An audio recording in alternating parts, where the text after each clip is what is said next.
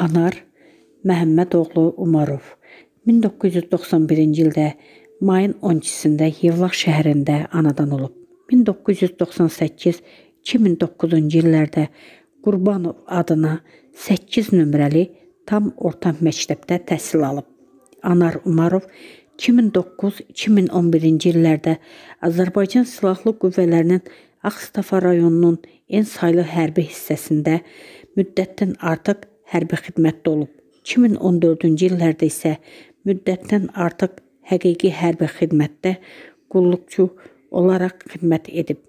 Azərbaycan ordusunun kiçik çavuşu olan Anar Umarov 2020-ci il sentyabrın 27-sində Azərbaycan Silahlı Qüvvələri tərəfindən Ermənistanın işğal altında saxladığı ərazilərin azad edilməsi məqsədi ilə Azərbaycanın bütövlüyünün bərpa olunması üçün başlayan Vətən müharibəsi zamanı Murovdağ istiqamətində gedən döyüşlərdə savaşıb.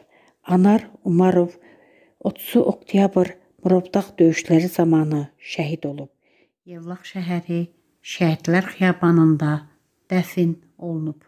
Azərbaycanın prezidenti İlham Əliyevin 15-i 12-ci ay 2020-ci il tarixli sərəncamına əsasən Anar Umarov ölümündən sonra Vətən uğrunda medalı ilə təltif edilib.